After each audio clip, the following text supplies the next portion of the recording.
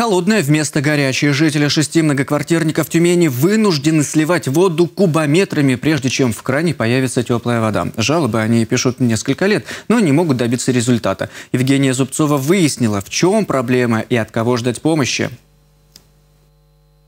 Сейчас, ну, еле тепленькая.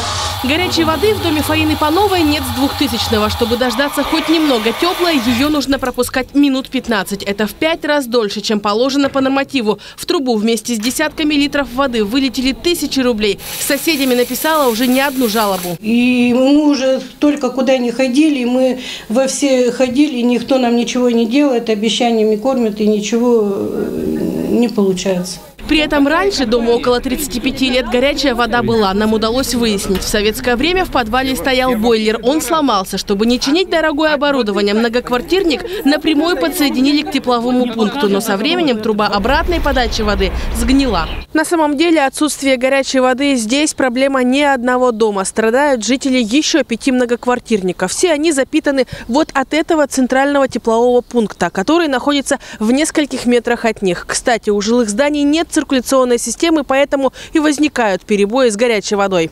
45-46 градусов.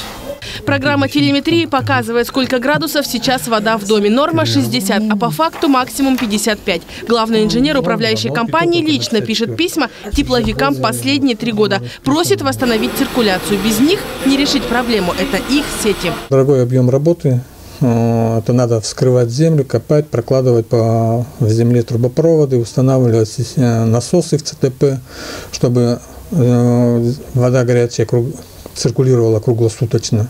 И тогда будет уже выполнено требование правительства. Впервые за годы переписки к управляющей компании на прошлой неделе приехала комиссия тепловиков. Осмотрели оборудование, взяли на карандаш, но неизвестно, будут ли восстанавливать циркуляцию. Жителям проще установить свои водонагреватели и идти в суд. Все-таки это недопоставка услуг. Евгения Зубцова, Александр Вележанин, Роман Чинахов, Тюменское время.